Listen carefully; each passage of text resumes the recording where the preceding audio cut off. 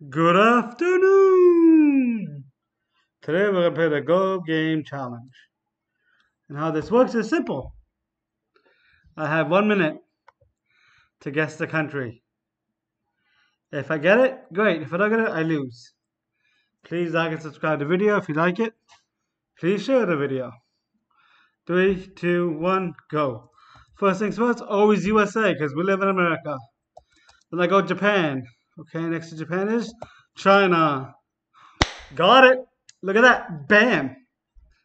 Alrighty, that was awesome. 10 seconds, huh? Look at that. Alrighty, I'm going to start the video. Please like and subscribe. Thank you so much. Have a great day.